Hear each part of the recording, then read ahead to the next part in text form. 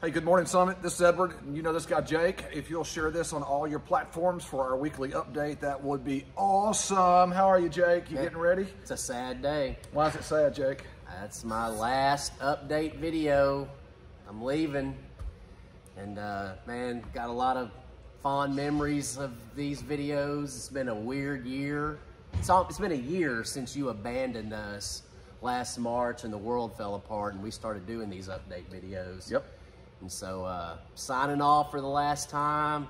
Don't know where, you know, life's going to take me from here, but sure am going to miss, miss make, these make updates. Sure you clarify that you um, are Hey, going on sabbatical and not leaving Before I leave, though, I got a little something prepared for all the people. And so, yeah, I just got to give thanks. You know, want to Yeah. give thanks to my Lord and Savior Jesus Christ for giving me the ability to do these videos.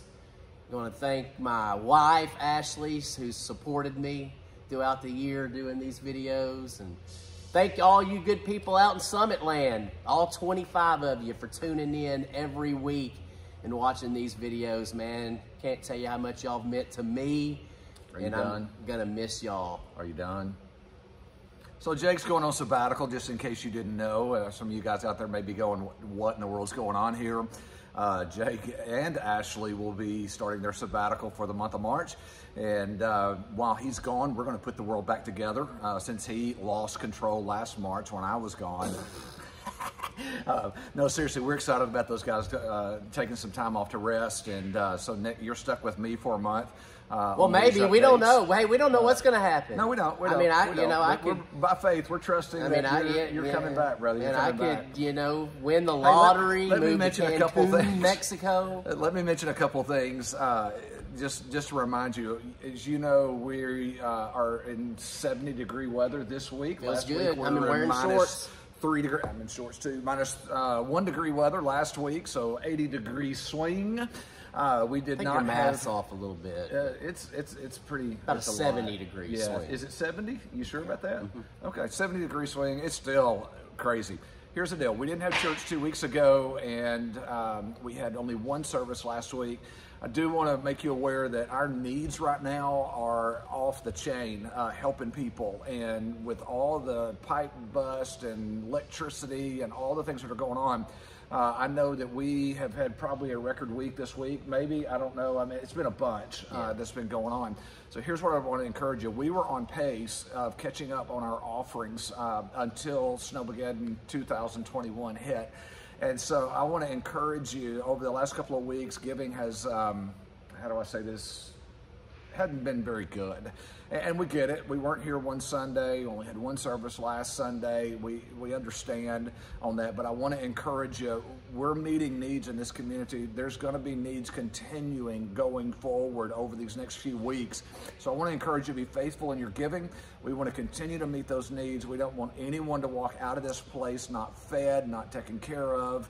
Uh, that we're not going to continue to love on food boxes or going out. I think. Uh, it seems like that's just growing all the time uh, on that. So Yeah, food does grow. You plant it in the ground and it grows. You got to have some water and sunshine, but that will be growing constantly. So, So anyway, um, we are glad he's leaving. Uh, so uh, be faithful in your giving. You can give online. You can text to give. Uh, you can even. I think there's some folks that come and drop it off every week, every other week when they do uh, they get do their giving. So uh, just encouraging you. Just uh, continue to be faithful in that. So. We love you. We love getting to serve and do what we do here, but giving faithfully allows us to do uh, what God's called us to do in this community. So, you got anything this week, Jake? Besides uh, you're leaving? I don't got nothing, man. This is my last. Tomorrow's my last day. Man, it's been so fun being your associate pastor. On to bigger things, though. On to better, sleeping late. greener pastures. golfing. Hey, uh, we started introducing our staff this year on these update videos, and we have another staff member we're going to be introducing today, and uh, we're excited about her and uh, she what she does here at Summit. In fact, some of you uh, may have not ever met her because she's our preschool pastor, so she's back there with those babies and uh, taking care of infants. She also uh, is very instrumental in our online presence. Uh, this girl is sharp. She can figure out anything website, online, babies, diapers. Um, that's kind of a weird combination. But I want to introduce you to Kristen Walker. Kristen, come on up, girl. I feel like we need some applause or something. You get the hot seat today. I did my some gosh. applause. So, this is Kristen Walker. Kristen, how long you been at Summit?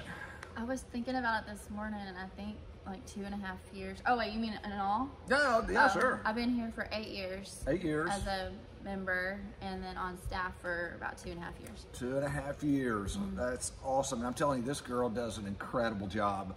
Um, like I said, she does preschool. She takes care of uh, websites. She takes care of online church. Um, you're a millennial, right? I don't Is that know. right? Something like that? I that? don't know where I fall. Uh, I was born in the '90s. So you're Born you're, in the 90s. I graduated high school in the 90s. I was That's born crazy. in '90 actually. So Oh my gosh! Now I feel old. Uh, so you're definitely a millennial. I so you so. can figure out anything uh, when it comes to digital and all that kind of stuff. So Jake, you got any interesting facts about? Uh, I have one Kristen? fact, one fact, but it's pretty dang interesting. So you know how you look up baby names and try to get biblical names or whatever. Well, I looked up the name Kristen this week, and the biblical Hebrew meaning of Kristen literally means technologically sound preschool pastor. and I'm thinking, what an incredible God moment that ah. Kristen's parents would get that revelation from God in 1990. and here she is at Summit running preschool and all of our technology. Folks, I'm telling you, God is real and He's working in your life, and this is a testimony of that. Wow. Dude, Told you it was a good one. There's just no end to your talent. I'm telling you. Well, it's not talent. You just It's- get on Google. It's amazing. It really you just is can get on. Google and find a wealth of information Yes. out there. So, Kristen, I've asked this of all of our staff members, and I know what the answer is, but I'm going to go ahead and ask anyway because every one of them has been the same. What's your favorite part about being on staff at Summit High? Like I said, I already know the answer. You got the best boss in the whole world, uh, but because everybody else is well, answered that technically, way. she answers to Ashley, so that would make Ashley the best boss. So, in the what's whole your world. favorite part about being on staff at Summit Heights? uh, I've thought about this question a lot, and I don't know what the one answer is, but the only thing that keeps coming to mind is the family that I have on staff. So I love my job. I love babies. I love doing the internet. I love doing everything um, more than I could imagine or explain to you. But the family that I have on staff um, and the brothers and the sisters and the people that sit around the table with me are my absolute favorite thing. Sometimes it's fun in there. Uh, Mm-hmm. yesterday, we chased a few rabbits in our staff meeting. It was kind of a, a different Yeah. day. So, um, now you have two boys, is that right? Two boys. How old are your boys? Oh my gosh, how old are they? Seven and nine. A little pressure there. Yeah, I had to think about that for a minute. I always forget their ages. uh, uh, Have you looked up their ba- or their name meanings? I, I have them actually hanging on the wall, That's and I couldn't tell you right now what they And are. one so- day they're going to be sitting in a chair being interviewed, and it's just going to be this wow God thing that they're doing exactly what you.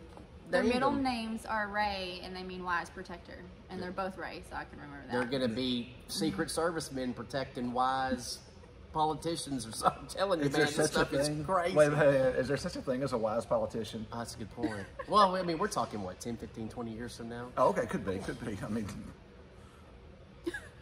so Kristen, uh, your your preschool area, we just redid all that back there, and I know you did an outstanding job uh, designing that. What's your passion around preschool and ministry? Uh, I mean, I know you do online stuff and that, but kind of give a flavor for those out there that may be still at home, not wanting to bring their kids yet because of all the stuff that's going on. Kind of give them some encouragement uh, around that and your vision, that passion for preschool ministry. What I think about when I think about the preschool ministry is not just getting to love on babies, because that's like the first thing that runs through my mind at all times.